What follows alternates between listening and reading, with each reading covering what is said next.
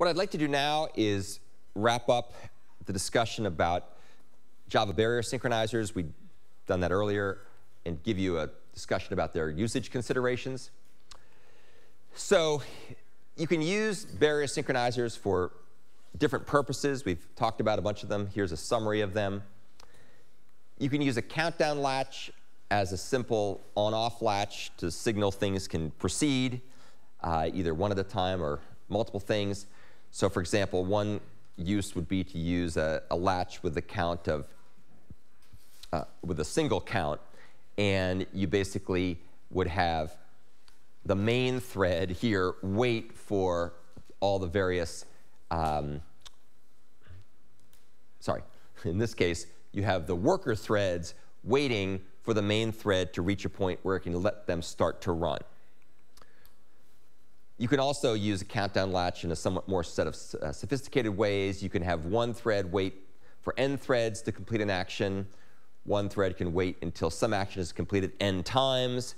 Key thing to remember about countdown latches, it really is based on events, not threads. So they don't have to be, you know, threads and threads completing it, just an action completes n times.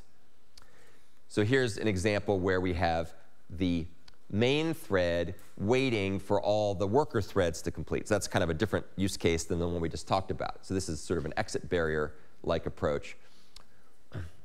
And uh, only when all of those threads are done will this thread be able to proceed. Cyclic barriers are about threads. So if, if countdown latches are about events or actions, a cyclic barrier is about groups of threads waiting for each other to reach a certain point. So typically it's used if you have algorithms that have cycles where you want to be able to do a bunch of processing in one phase, let everybody reach a stopping point, then start all over again on the next phase of something else.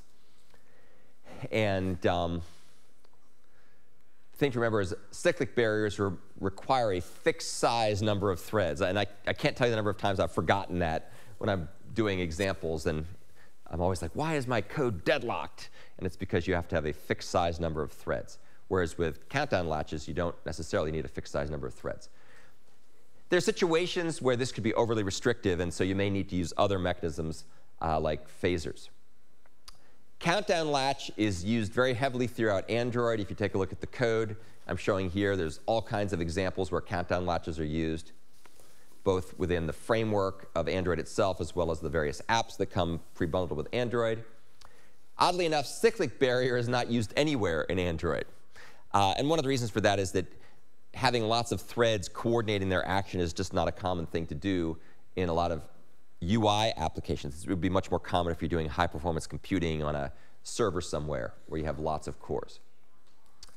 Okay, so that's just the, the end of the discussion about barrier synchronizers. As you can see, there's, it's pretty straightforward.